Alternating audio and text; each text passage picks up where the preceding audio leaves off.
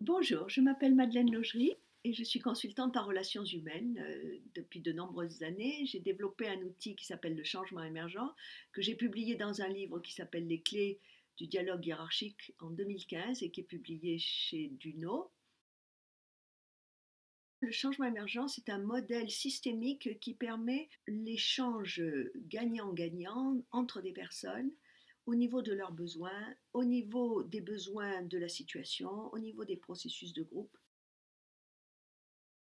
Le changement émergent met en évidence que les besoins d'une équipe de travail sont légitimes, réalistes et que la hiérarchie les recherche.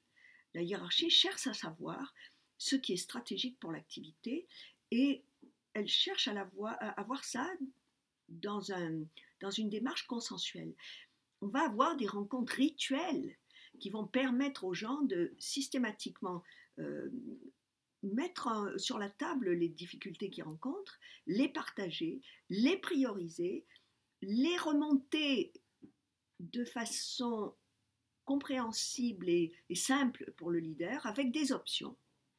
Et le leader, lui, de son côté, en fonction de ce qui est possible et pas possible, eh ben, il va prendre une décision. Mais les propositions, elles sont faites par les gens qui font l'activité. Et ça, il me semble que c'est très important, à tout niveau, parce que petit à petit, au fur et à mesure que euh, les personnes vont intégrer le changement émergent, elles vont aussi adapter le processus de leur rituel à ce qui convient le mieux au système, à ce qui est le plus économique à tout point de vue.